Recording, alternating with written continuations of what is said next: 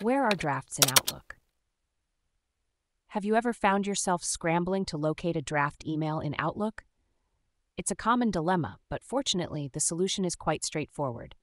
When you start composing an email in Outlook but don't send it immediately, the email is automatically saved as a draft.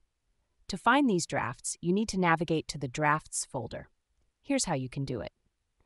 First, open Microsoft Outlook on your computer. On the left side of the Outlook window, you'll see a list of folders.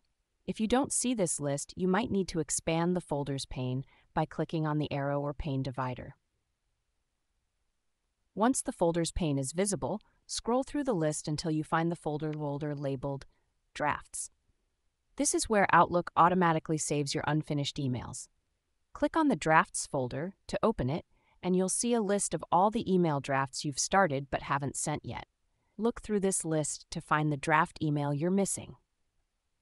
If you're using Outlook Web, the process is similar. Open your web browser, go to the Outlook Web login page, and sign in with your email address and password. Once logged in, look for the Drafts folder in the folder pane on the left side of the screen and click on it to view your draft emails. Each email account in Outlook has its own drafts folder, so make sure you're checking the correct account if you use multiple accounts.